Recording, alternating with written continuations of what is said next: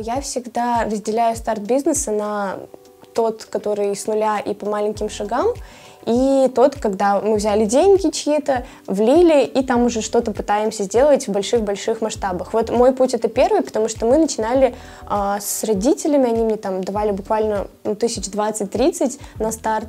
Я вкладывала где-то свои накопления, там со стипендии с той же. Вот, и мы прям очень маленькими шагами органично развивались.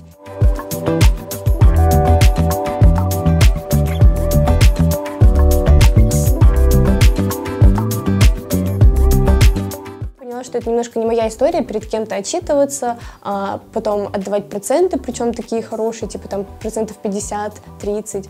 А, вот, и делать это действительно так, чтобы чувствовать почву, четко на ней стоять и уже делать шаг дальше, а не так, что там в подвешенном состоянии а, крутить большими капиталами.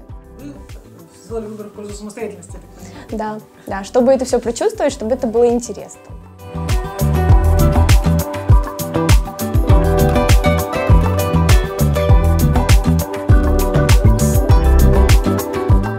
Хочу покорить мир именно натуральной косметикой, чтобы э, сознание девочек менялось, и чтобы они понимали, что даже живя в крупном городе, можно оставаться частичкой природы, и можно уважать эту природу и использовать ее как бы классные свойства на себе. Thank